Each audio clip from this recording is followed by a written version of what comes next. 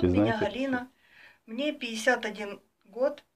Живу я в городе Винница. Э, Что дало мне обучение в школе Кайлас? Какие были у меня результаты? Мы с напарником по работе прослушали магию денег. Я стала практиковать э, покупку собственного материального благополучия.